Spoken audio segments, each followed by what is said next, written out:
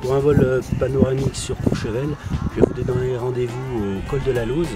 On va se préparer au décollage qui se trouve juste à côté. Vous équiper d'un harnais qui s'appelle une sellette et étaler le parapente au bord d'une plateforme spécialement aménagée. Une fois que nous serons attachés ensemble, on va se laisser glisser pendant quelques mètres afin de gonfler la voile et avec la vitesse que l'on prendra, le décollage va se produire naturellement tout en douceur. Nous allons survoler les stations de Méribel, Latania, Courchevel et leur piste de ski. Vous aurez la possibilité de piloter le parapente face au Mont Blanc et quelques virages sensations seront proposés aux plus téméraires. L'atterrissage s'effectue très facilement en glissant sur les skis à Courchevel-le-Prat, près des tremplins de saut à ski ou ailleurs selon les conditions aérologiques.